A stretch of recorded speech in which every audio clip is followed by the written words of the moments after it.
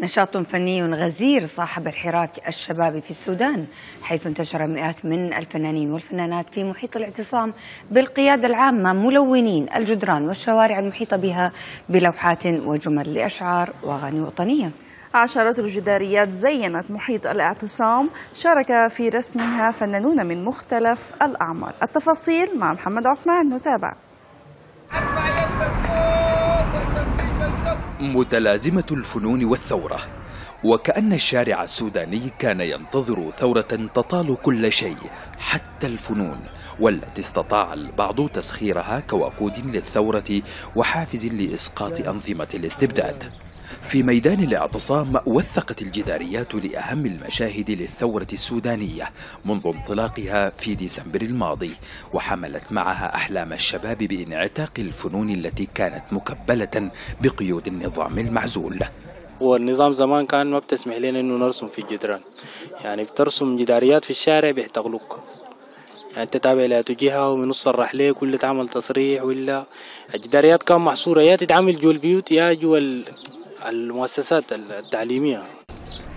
هنا تجسدت أشواق الشباب الطامح لصناعة مستقبل جديد واستطاعت عبر هذه الجداريات أن ترسل رسائل عديدة تعترف بقدرة الفن التشكيلي على التعبير عن حالة الشارع.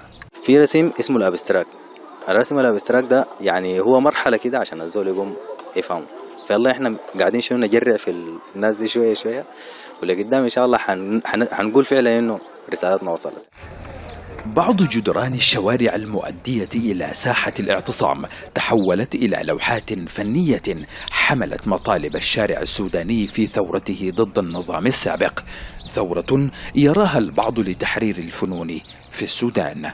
فرصة الحرية اللي وجدت داخل ميدان الاعتصام كانت أكبر مثال للفنانين إنهم يقدموا بشكل جريء وقوي وصادم لكل المعتصمين بالميدان.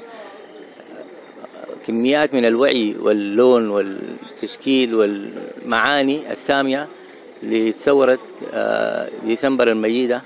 ثورة الجداريات حولت ساحة الاعتصام إلى لوحة.